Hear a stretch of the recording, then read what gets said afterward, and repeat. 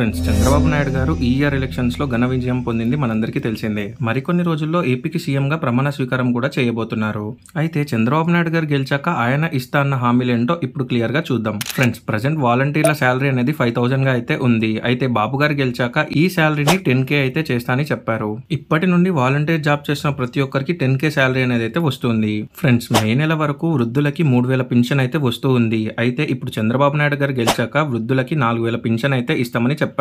అలాగే దివ్యాంగులు హ్యాండిక్యాప్ ఉన్న వారికి ఆరు వేల వరకు అయితే పింఛన్ని ఇస్తారట. అట్ ప్రెసెంట్ వీళ్ళకి ఐదు వేల పింఛన్ అయితే వస్తుంది. తర్వాత పథకం చూసుకున్నట్టయితే రాష్ట్రంలో పద్దెనిమిదేళ్ళు దాటిన ప్రతి ఒక్క మహిళలందరికీ నెలకి పదహైదు వందల రూపాయల పెన్షన్ లాంటిదైతే ఇస్తారట. ఈ లెక్క ప్రకారం చూసుకుంటే ప్రతి ఒక్క మహిళ సంవత్సరం లోపు పద్దెనిమిది వేల రూపాయలను అయితే పొందుతారు.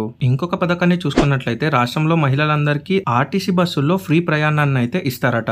ఈ యొక్క పథకానికి వయసుతో అయితే సంబంధం లేదు. ఆడవాళ్ళందరికీ బస్సులు అనేవి అయితే ఫ్రీ. ఫ్రెండ్స్ ఇంకొక పథకాన్ని చూసుకున్నట్లయితే ఆంధ్రప్రదేశ్ రాష్ట్రంలో ఉన్న ప్రతి ఒక్క నిరుద్యోగికి నెలకి మూడు వేల రూపాయలని పెన్షన్గా అయితే ఇస్తారట. డిగ్రీ కానీ బీటెక్ కానీ ఏదైనా అండర్ గ్రాడ్యుయేట్ కోర్స్ చేసిన లేదా ఆపై కోర్సులు చేసిన ప్రతి ఒక్క యువతి యువకులు ఈ- ఈ పథకానికి అయితే అర్హులవుతారు. ఈ లెక్కన చూసుకుంటే రాష్ట్రంలో ఉన్న నిరుద్యోగులందరూ ఒక సంవత్సరానికి దాదాపుగా ముప్పై ఆరు వేల రూపాయల సహాయాన్ని అయితే గవర్నమెంట్ నుండి అయితే పొందుతారు. ఫ్రెండ్స్ మనం ఇంకో పథకాన్ని చూసుకున్నట్లయితే తల్లికి వందనం అనే పేరుతో ఇంట్లో ఉండే ప్రతి ఒక్క పిల్లాడికి సంవత్సరానికి పదహైదు వేల రూపాయలను అయితే ఇస్తారట ఇంతకు ముందు గవర్నమెంట్ ఉన్నప్పుడు ఈ పథకం అనేది ఇంట్లో ఒక్క పిల్లాడికి మాత్రమే అర్హులయ్యేవారు. అయితే ఇప్పుడు చంద్రబాబు నాయుడు గారు వచ్చాక ఎంతమంది పిల్లలు ఉంటే అంతమంది పిల్లలకి ఈ పథకం అనేది అయితే అర్హత ఉంటుంది. ఫ్రెండ్స్ మనం ఇంకో పథకాన్ని కానీ చూసినట్లయితే ప్రతి ఇంటికి ఒక్క సంవత్సరంలో మూడు గ్యాస్ సిలిండర్లు అనేవి ఫ్రీగా అయితే ఇస్తారట.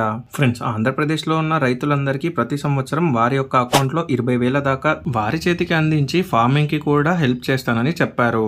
అంతేకాకుండా ఈయన గవర్నమెంట్ ఫామ్ అవ్వగానే ఎంత త్వరగా వీలైతే అయితే అంత త్వరగా మెగా డిఎస్సీని అయితే తీసుకొస్తామని చెప్పారు.